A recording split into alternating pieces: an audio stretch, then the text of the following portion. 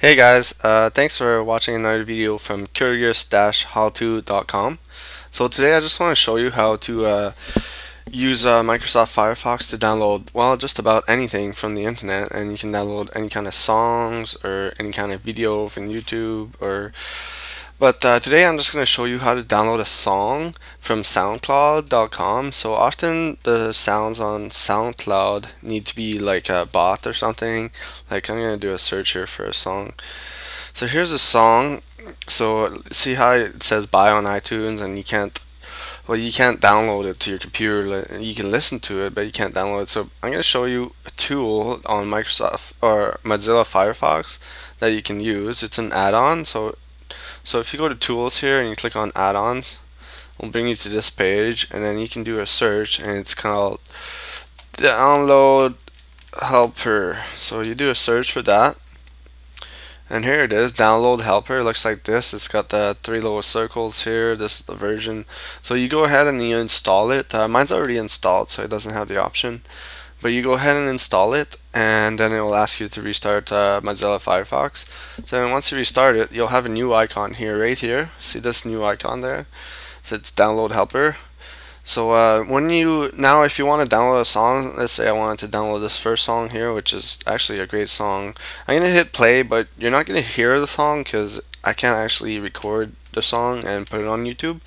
So I'm gonna hit play here and it's gonna start playing in just a second. There you go and see now the three little circles are turning. That means that there's a media that can be downloaded. So I'm going to hit this down arrow here and it's going to show me, see this is the, the name of the track right now. It's all these weird letters. And I'm going to go to download. Then it's going to ask me where I want to save the file. So I'm going to save it to let's say music, the, the music library here. And I'm going to name it Can't hold us. Alright, and hit save. And now see, it, this little down arrow here shows you the process of ongoing download. So if I click on it, it should show that it's downloading and bam, it's done already. So the song has been downloaded. Then I could click on here to open containing folder. And see, there we go, we have the song right here. So uh, now I can play it with uh, Winamp or something or put it on your iPod or something like that.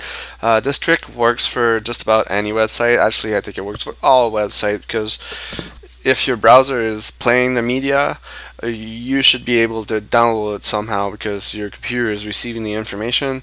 So there's a way to save that information, and it's not uh, I it's not illegal. So you're allowed to save the information that's played on your computer. So there we go. So download helper really uh, does that for you. And uh, I'm just gonna go ahead and play this track now. See uh, Winamp should come up in a second here. And the track would be playing now. See, it's playing, but you're not gonna hear it because I can't. Uh, I can't play it. So there you go. Thank you for watching my video.